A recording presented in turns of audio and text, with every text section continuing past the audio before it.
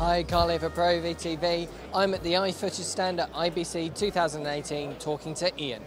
Okay, Ian, so we've got new tripods. These are travel ones, is that right? Yeah, they're super lightweight. Mm. Um, we, uh, the, we call them the Gazelle series. They're available uh, in three figures the five, the six, and the seven, which indicates their payload. Uh, they're also all available in either aluminium or in carbon fiber.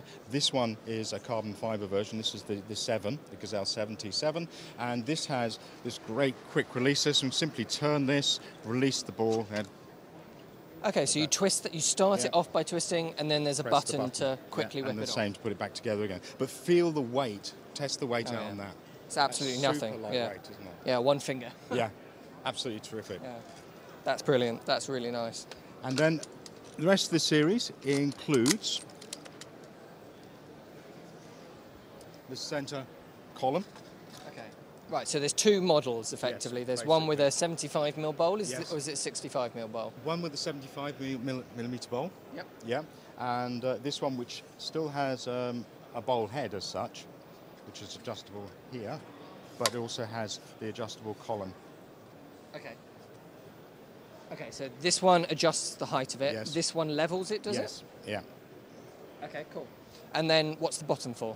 This allows for disassembly, but then they will allow you to work at a really, really low height by taking the central uh, hole out. Okay, so that's cool. So you can take out the central column, um, take it out so that you can get down really, really low. So that's the uh, the Gazelle series. Mm-hmm. Um, as I said, available in aluminium and in carbon fibre.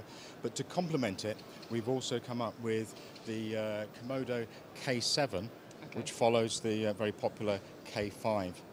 And uh, again, through listening to us, our uh, our customers, a lot of them said, "Well, can you produce something that will handle a heavier payload, a larger camera?" And so uh, here we are with the with the K7. All of these are prototypes, and we're hoping to have these out onto the market within the next two months. So it looks like we've got some um, dampening control and some counterbalance, is that right? Yeah. In addition, um, the K7 offers uh, dynamic balancing, uh, controllable from uh, both sides here, and you can see you've got a really nice smooth return back to horizontal.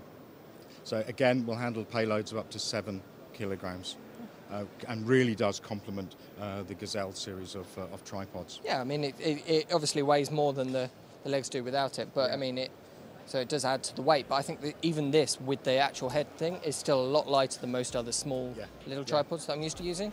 And of course, it's just a simple 75mm bowl or a flat base bowl, so you Yes. easily use the Yeah. K5 on these ones if you want to get smaller, or different brands of tripod head. So anyone who wants ultimate portability, these will fold up to, that sort of size. Absolutely. Um, absolutely great for carry on, etc., and really, really lightweight. Yeah, I think I'll be using them for these shows going forward.